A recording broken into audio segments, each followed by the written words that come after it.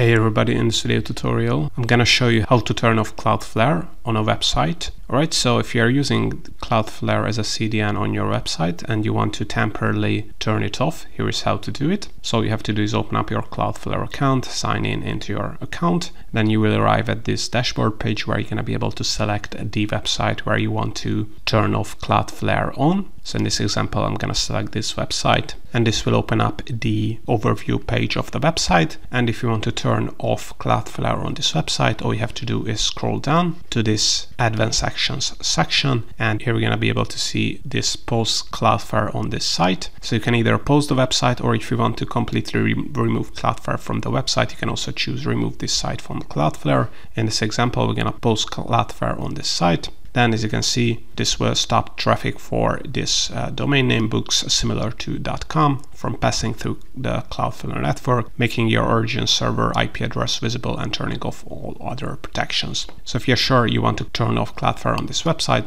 just click on post here. And with this, as you can see, now the post Cloudflare on the site changed to enable Cloudflare on the site so Cloudflare has been turned off on the website. If you want to turn it back on, you just have to click on enable Cloudflare on slide and Cloudflare will be working again on your website. But all in all, this is how you can turn off Cloudflare on your website. If you want to learn more about Cloudflare or AI tools like ChatGPT or Google Bard, I have a ton of tutorials on my YouTube channel and also a ton of free resources in the description below. Make sure to check those out as well and see you next time.